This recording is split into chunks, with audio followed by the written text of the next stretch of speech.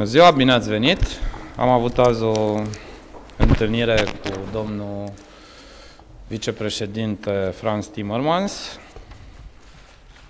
fiind uh, alături de mine și ministrul Justiției, domnul Tudorel Toader. Am, am abordat, bineînțeles, problematica MCV-ului, dar și alte dosare uh, importante de actualitate acum pe agenda Uniunii Europene, pe care, pe care, așa cum spuneam, le-am discutat în cursul întâlnirii noastre de astăzi. Obiectivul meu și a guvernului pe care îl conduc este să finalizăm MCV înainte ca România să preia președinția Consiliului Uniunii Europene. Este o chestiune de prestigiu și nu numai, la care țin foarte, foarte mult. Avem patru rapoarte. Avem patru rapoarte consecutive pozitive. Îmi doresc ca la sfârșitul anului 2017 uh, să avem un raport final pozitiv care să pună bazele încheierii acestui mecanism. Vom continua, și vă spun cu tărie acest lucru și subliniez, progresele majore pe care le avem până acum câștigate în domeniul justiției și nu vom face niciun pas înapoi în ceea ce înseamnă garantarea unui act de justiție corect și independent.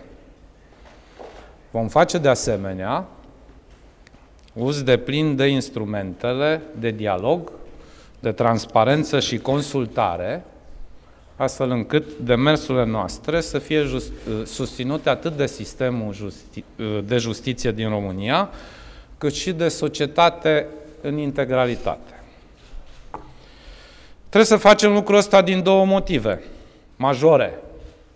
Economia României nu poate crește fără încrederea investitorilor că banilor sunt protejați de un sistem judiciar previzibil și eficient. Și în al doilea rând, societatea nu poate avansa fără protecția intereselor, dar și, dar și a drepturilor fundamentale ale cetățenilor. Prioritățile pe care le-am transmis uh, și domnului prim vicepreședinte, perioada imediat următoare, și domnul ministru Tudorel Toader le-a detaliat sunt, așa cum știți, punerea în acord a legislației cu deciziile Curții Constituționale, asigurarea de plinului respect pentru drepturile fundamentale, garantarea eficienței, predictibilității și calității actului de justiție, precum și apropierea justiției de cetă cetățean. Eu cred că este și noi credem că este în interesul atât al cetățenilor, cât și al sectorului privat să avem un sistem judiciar de încredere, eficient și accesibil. Închei prin a-i mulțumi personal domnului prim vicepreședinte Timmermans pentru abordările principiale constante cu privire la importanța evitării oricăror conexiuni între dosarul MCV și alte dosare precum fondurile structurale sau aderarea la Schengen. De asemenea, subliniez faptul că urmarea primei noastre întâlniri de la începutul anului de la Bruxelles au fost, făcute, au fost făcuți mai mulți uh, pași în acest moment se discută la nivel tehnic uh, toate neclaritățile pe care uh, noi le aveam și au fost transmise de către Comisia Europeană, către Ministerul Justiției, referitoare la uh, MCV. De asemenea, în discuția noastră de astăzi, domnul ministru Tudorel Toader a detaliat și partea cealaltă pe care am atins-o la Bruxelles Uh, în discuția de la începutul anului, cea legată de situația din penitenciare și măsurile pe care, pe care noi uh, le avem în vedere în perioada imediat, imediat următoare. Subliniez uh, încă o dată aprecierile pe care le am, ca prim-ministru față de deschiderea și de dialogul și de uh, modul constructiv în care în aceste luni Guvernul României a relaționat cu Comisia Europeană și în special cu domnul prim-vicepreședinte Timmermans. Mulțumesc! Thank you very much, uh, Prime Minister. I'm sorry I don't, don't speak Romanian, so it'll be in English uh, from my side. Um, I have to say, um, our fight for the rule of law and human rights is not a fight because we want this fight or because we do it for us. Uh, we think every single European citizen, uh, regardless of where she or he lives, deserves uh, the rule of law and the full respect for human rights. And in the last 10 years with the CVM, we have achieved so much in Romania. I mean, if I look back over that period of time, some of the achievements I would not have seen would not have seemed possible 10 years ago, but we did achieve so much. And now we are in the final, final meters of this long marathon. And we had a bit of a scare a couple of months ago when we had the impression that the whole process would be stopped or change uh, direction. But uh, I have had some very constructive meetings with Prime Minister Grignano, and I have full confidence in his government's plans. And uh, Mr. Uh, Minister Toader has come up with projects that put Romania on the right track to be able to conclude uh, the CVM process in the foreseeable future. It all depends on the fulfillment of the recommendations we have put in our report. These are our final recommendations. We will not change them, we will not add to them. This is it. And if the government is in a position, as is the wish of the Prime Minister and the Minister of Justice, to fulfill the recommendations, we can come to a conclusion on uh, the CVM. And I certainly hope uh, that this government will get strong backing from the Romanian parliament to achieve this goal, strong backing from Romanian society to achieve uh, this goal. Because once we have achieved this goal, we will have reached the point of no return. And then uh, the uh, full uh, enjoyment of human rights and the application of the rule of law in Romania, in Romanian society, will be irreversible. And indeed, this will create legal certainty for businesses and legal certainty for every single citizen. And this is what all European citizens deserve. I really want to thank uh, Prime Minister Grignano for his cooperation in this. I think the plans he and his Minister of Justice have elaborated put us on the right track, and I hope we can come to the conclusion soon that the recommendations we've uh, written down uh, are fulfilled. And I'm looking forward to a continued uh, cooperation uh, with the Romanian uh, government. Thank you very much. Thank you. Domnul ministru, câteva... Da. Mulțumesc și eu. Vreau să îi exprim uh, mulțumirile mele față de domnul vicepreședinte Timmermans. Ne aflăm la a doua întrevedere, a doua întâlnire cu dânsa, vorbesc, cu dânsul, vorbesc de mine și m-am bucurat de deplină susținere și încurajarea din partea domniei sale. Ca ministru al justiției, sigur că sunt și trebuie să rămân preocupat de bunul mers al justiției în România, bun mers al justiției care înseamnă, printre altele, și racordarea la standardele moderne europene de protecție a drepturilor și libertăților fundamentale. Sigur că s-a vorbit, cum s-a spus deja, despre cele 12 recomandări din MCV. Cum ne bucură faptul că recomandările sunt fixe, ne bucură faptul că recomandările nu sunt schimbătoare, sunt mobile.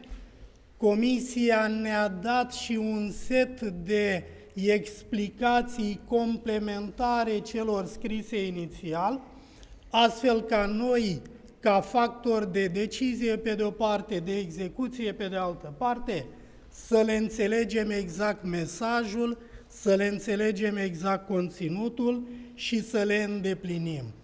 Până la urmă, aș preciza un lucru care mi se pare esențial.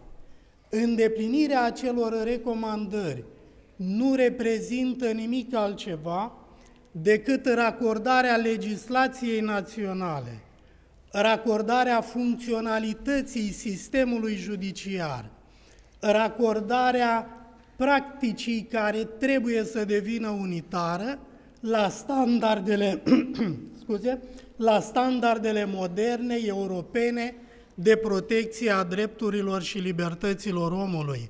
Sunt recomandări pe deplin compatibile cu exigențele Constituției, sunt recomandări pe deplin compatibile cu normele europene, sunt recomandări pe care putem și trebuie să le îndeplinim. În această direcție am făcut referire, cum dumneavoastră știți deja bine, la procesul de evaluare a întregii legislații. Primul pas a fost cel de punere de acord a codului penal procedură penală cu exigențele constituționale, exigențe rezultate din deciziile pronunțate de către Curtea Constituțională. Ne preocupă și trebuie să fim preocupați pentru punerea de acord a legislației cu standardele europene, repet, în concret, transpunerea directivelor europene în legislația națională. Este o realitate pe care o știți, pe care o cunoaștem, pe care trebuie să o depășim și anume faptul că sunt multe directive încă netranspuse, directive care au ieșit din termen și avem obligația ca de îndată să le punem, transpunem în legislația națională.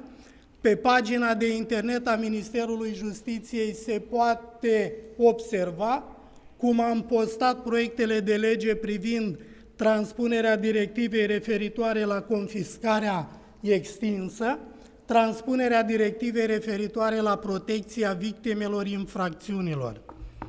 Pregătim pachetul de legi pentru justiție, legi care datează din 2004, au trecut 13 ani, Practic a arătat care sunt omisiunile, neconcordanțele, nevoile de perfecționare, le vom pune în de transparență decizională, le vom trece prin guvern și vom înainta proiectul de lege la legiuitor, unica autoritate, la Parlament, unica autoritate legiuitoare, cel care trebuie să decidă în acest, în acest sens. Vom face și o evaluare a întregii legislații, Codul penal, procedură penală, civil, procedură civilă, celelalte legi fundamentale, fiecare lege în sensul ei este deosebit de importantă, le vom pune de acord cu exigențele constituționale, cu standardele moderne, unele sunt încă adoptate înainte de revizuirea Constituției din 2003 și trebuie compatibilizate din, și din acest punct de vedere. Avem problema penitenciarelor, avem soluții complementare la nivel de legislație, la nivel de aplicare a legii, la nivel de modernizare a penitenciarelor existente, de extinderea, construirea unor pavilioane noi în cadrul penitenciarelor existente, finalizarea, construcția celor două noi penitenciare. Avem un set de cerințe interne raportate la Constituție, avem un set de cerințe externe raportate la standardele, tratatele, convențiile la care România este parte și toate aceste măsuri sunt obligatorii pentru ca să devină irreversibil acel proces de ridicare a standardelor de protecție a drepturilor și libertăților fundamentale. Vă mulțumesc! Cei trei înalți demnitari așteaptă acum întrebările din partea presei cu rugămintea de a preciza numele și instituția pe care o reprezentați. Vă rog. Sorina Ionaș, Realitatea TV, pentru domnul uh, prim vicepreședinte al Comisiei Europene, pentru că s-a vorbit foarte mult despre această irreversibilitate și pentru că în rapoartele MCV s-a subliniat acest lucru. Voiam să vă întreb dacă din ce s-a văzut în România din ianuarie până acum, există premise că România îndeplinește aceste condiții de irreversibilitate și că această luptă anticorupție poate continua și după ridicarea MCV-ului? Ar fi prima întrebare. If, if the government, we've given these 12 recommendations, they are, I think, very clear. If the government sticks to its program, which I think the commitment is strong, then these 12 recommendations can be met. I hope Parliament will support go the government in doing that, uh, uh, but your question is much more profound than that. You know, I've become increasingly convinced that the best guarantors of a continued fight against corruption and for the rule of law are the Romanians themselves. There is such a strong feeling in Romanian society that this is the right fight and that they want this and they want this to continue and they want this to be maintained. That, you know, uh, I'm sure that once the recommendations are met and we can uh, stop the CVM process, the process of fighting corruption will be driven by the will of the Romanian people who've expressed such a great, it, you know, I, I know this country pretty well. I've been coming here for more than 20 years. Um, and I remember the times when the Romanian population, when you talked about this issue, was rather cynical in the sense, yeah, okay, but it's never going to happen. And now the Romanian population is in a different place. We want this to happen. We will fight for this to happen. We deserve this because we are Europeans. And this, to me, is one of the most inspiring things that the population says, not because Brussels says something, not because a commissioner comes here to say something, but the people themselves say, we want this for ourselves and for our children, for our country. This is the best guarantee I have that this process will continue also after we have concluded the CVM process. Și o a doua întrebare, dacă în aceste condiții 2018 este un termen uh, realist pentru ridicarea MCV-ului în cazul României? I, I never talk about, about uh, dates. I never do that. The only thing I, I uh, will say about this, the program of the government to fulfill the recommendations is clear.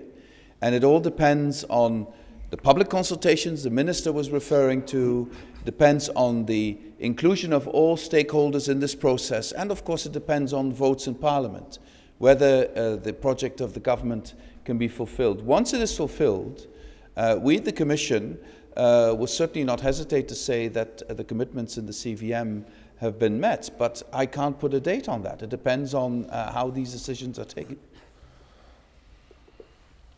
Uh, question from Alison Mutler, the Associated Press, for Mr. Timmermans. Uh, I'll speak in English.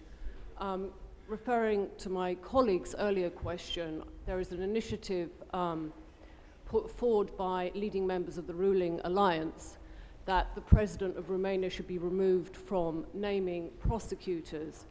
Would you salute this as, as something that is um, conducive to Romania's fight against corruption, or do you would you think it's a step backwards? Thank you. Well, as I, as I said um, in general terms, and I'll repeat that, the line taken by the government is conducive to be able to fulfill the recommendations uh, uh, we have set out. And I would encourage, although Parliament, of course, is sovereign, Parliament makes its own decisions, uh, as was also pointed out by the Minister of Justice, I would kindly ask Parliament to support government in this uh, and, and, and not um, uh, go in other directions than what the government is proposing, because I believe that is the best way uh, to uh, fulfill the recommendations. But I shall not, shall not go into individual issues and individual uh, potential initiatives of Parliament. I want to be able to look at the whole picture uh, and we will see where we will uh, be uh, at the end of this year when we have to make another report on the CVM.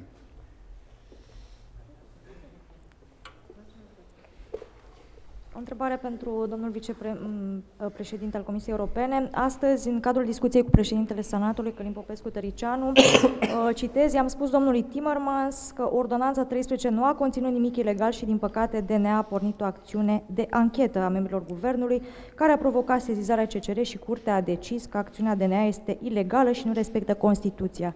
În momentul de față, DNA-ul și-a declinat uh, responsabilitatea pentru această anchetă, însă ea continuă la parchetul general și este îndreptată în continuare împotriva membrilor cabinetului Grindeanu, chiar dacă Curtea Constituțională a spus că nu se pune problema unei, uh, unei uh, unui drept al uh, celor de la parchet sau DNA să facă o asemenea anchetă. Care este viziunea pe care o are Comisia Europeană, având în vedere conflictul care încă există între cele două puteri, cea juridică și cea executivă?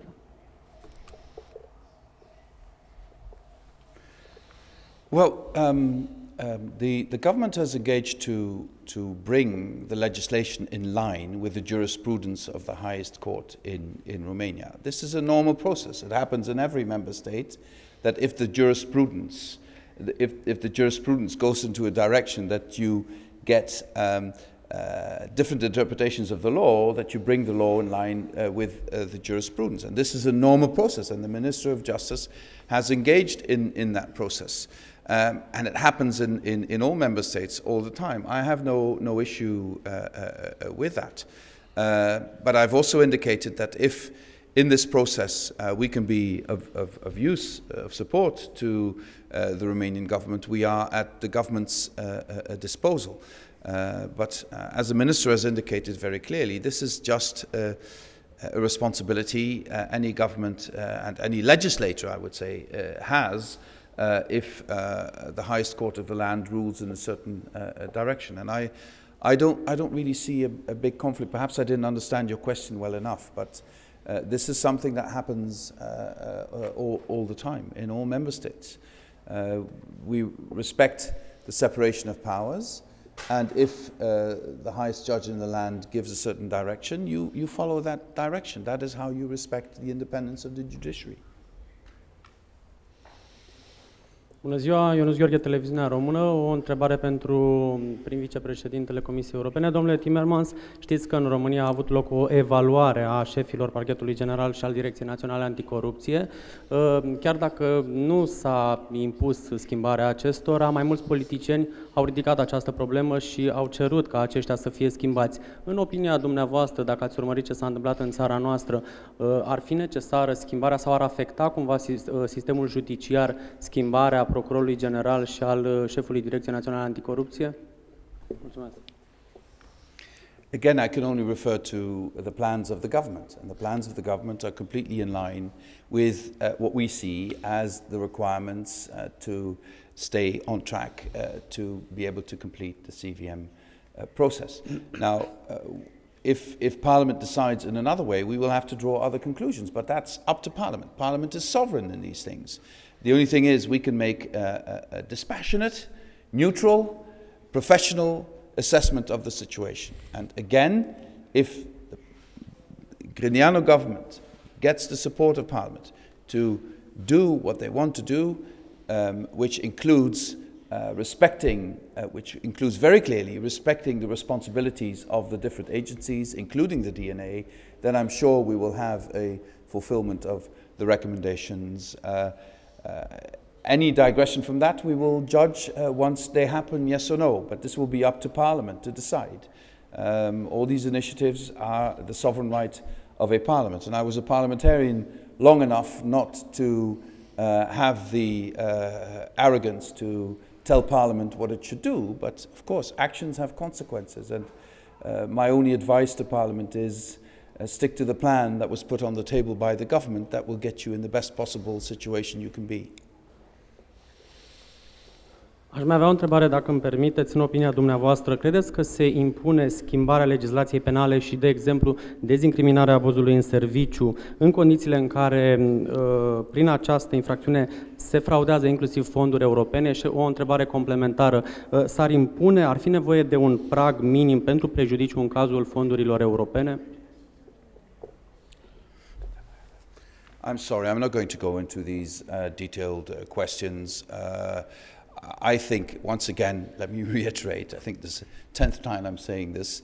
Uh, what I've seen uh, coming out of the Grindiano government is clearly in line with what we would like to see in terms of fulfilling uh, the recommendations. I think Romania has been extremely successful over the last 10 years in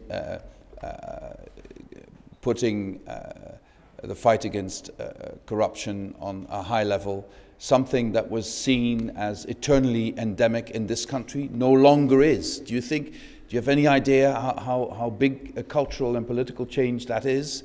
That is a huge achievement, and I think we should, we should uh, make sure that we finalize that achievement. We're in the last stretch of a long, long marathon, and let's not be distracted by other issues. Let's complete this. And then the process will be self sustained, as I said, because I believe the scrutiny by the Romanian people of this process will be very thorough because the Romanians want this uh, to happen, and any government will be well advised to listen carefully to its people on that. Ultimele două întrebări, vă rog. Ultima întrebare, dacă îmi permiteți, pentru că domnul Franz Timmermans spunea că de dumneavoastră, domnule premier, depinde ce se va întâmpla de aici încolo. Când vedeți dumneavoastră acel, acea linie de orizont prin, în care vom scăpa de acest raport uh, MCV uh, și cum vedeți relația cu Parlamentul, pentru că spunea domnul prim vicepreședinte că doar prin alinierea Parlamentului la ceea ce veți face dumneavoastră ne va duce la acest final de MCV.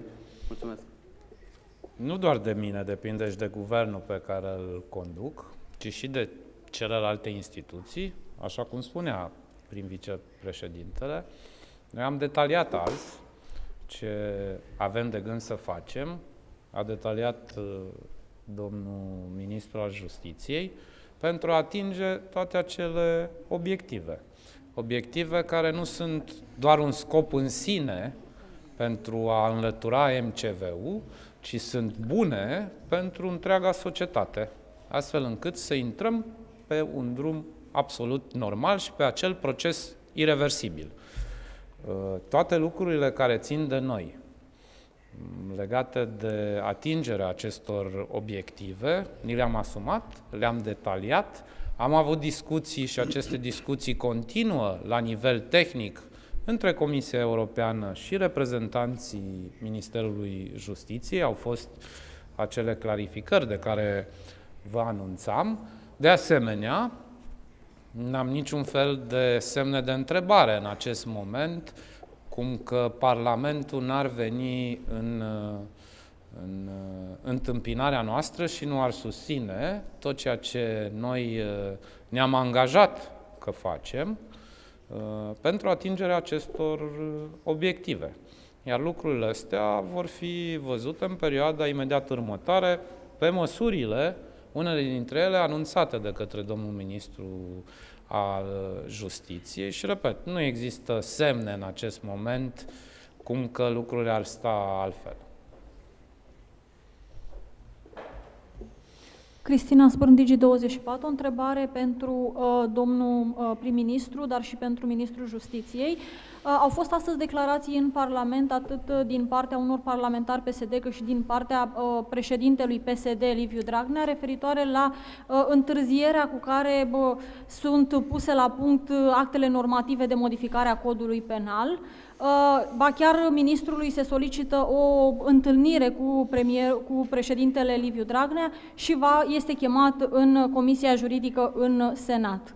Uh, aș vrea să știu care este poziția dumneavoastră, domnule premier, în legătură cu acel pachet pe modificarea codului penal și întârzierile pe care le acuză PSD-ul și pentru domnul uh, ministru al Justiției, când va fi gata acel pachet, când îl trimiteți în Parlament, pentru că membrii PSD spun că legea grațierii, cel puțin, ar putea trece tacit, între timp. Noi ne-am angajat că vom face un proces transparent prin care să consultăm toate instituțiile. Și nu numai, ONG-uri și așa mai departe. Toate lucrurile pe care le-am anunțat la începutul anului. În acest moment, pe site-ul Ministerului Justiției, se află acel proiect de lege de care spuneați dumneavoastră, cel de punere în concordanță a deciziilor Curții Constituționale cu codul penal și codul de procedură penal este în proces de dezbatere publică. acest proiect. Vom transmite către Parlament, indiferent cine solicită acest lucru, acest proiect în momentul în care dezbaterea publică este încheiată. Asta este punctul meu de vedere și pe linia asta mergem. În momentul în care s-a încheiat această dezbatere publică, conform legii, de-abia în acel moment, cu, și țin să menționez, cu eventuale uh, adăugiri, discuții pe diverse articole care vin urmare a dezbaterilor publice, îmbunătățiri acestui prim draft, prim proiect, ni-l asumăm în guvern ca și proiect de lege și îl vom transmite în Parlament. Dar subliniez, abia după ce procesul de dezbatere publică este terminat. Da. Despre codul penal, codul de procedură penală, sigur n-am să mai vorbesc pentru că va vorbit domnul prim-ministru. Ce vă pot spune cu privire la pachetul de legi? Sunt trei legi de bază privind organizarea și funcționarea justiției. 303, 304, 317, toate din 2004. Dacă vrem să facem o treabă în salturi, dacă vrem să facem o treabă care să completeze pe aici, pe acolo, le putem trimite și mâine. Dacă vrem să facem o treabă temeinică, riguroasă, atât pe fond cât și pe formă, să facem o evaluare completă a celor trei legi, care spuneam de 13 ani se aplică în România, care spuneam de 13 ani își arată bunele și relele, atunci trebuie să facem o evaluare de la primul până la ultimul articol, consultăm CSM-ul toate instituțiile participante la actul de justiție, îl punem în transparență decizională, îl însușește guvernul și îl transmitem la Parlament ca proiect de lege. Deci numai în momentul acela putem să avem cugetul împăcat, inima împăcată, că am făcut un demers care să fie funcțional, viabil, necesar sistemului justiției, numai în acel moment putem spera, considera că modificările aduse pachetului de lege ale justiției vor fi cu adevărat să îmbunătățească activitatea de înfăptuire a justiției. Dincolo de aceea ați întrebat, vă răspund și altceva. Deci, dincolo de pachetul privind legile justiției, vom face o evaluare a celor patru coduri într-o primă etapă, penal, procedură penală, civil, procedură civilă, patru coduri care au fost adoptate prin angajarea răspunderii guvernului, care n-au fost puse în dezbaterea legiuitorului, patru coduri care în anii de aplicare și-au arătat neconcordanțele cu legea fundamentală, neconcordanțele între prevederi, omisiunile de reglementare, neconcordanțele cu normele europene. Prin urmare, nu că vreau, trebuie și suntem obligați să facem o evaluare riguroasă, o raportare la exigențele constituționale, la exigențele europene, ne consultăm cu toate autoritățile, transparență decizională în speranța unui act normativ de natură să îmbunătățească activitatea sistemului judiciar. Vă mulțumim foarte mult. Conferința de presă a ajuns la final. Vă mulțumim foarte mult. Mulțumim.